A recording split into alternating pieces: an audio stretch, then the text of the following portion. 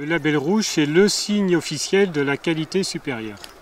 Nous avons plaisir à faire partie d'un groupe d'éleveurs qui produisent des volailles de qualité, qui sont élevées en plein air et en liberté. Ces volailles, euh, nous les gardons pendant 80 jours.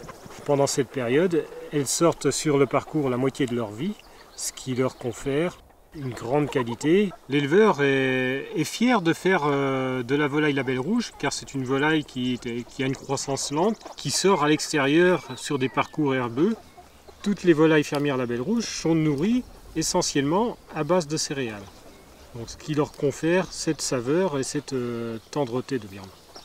En élevant les volailles de cette manière-là, on pense forcément au consommateur qui lui est en recherche de cette qualité, de cette notion nutritionnelle qui se rapproche un petit peu de ce qu'on produisait autrefois.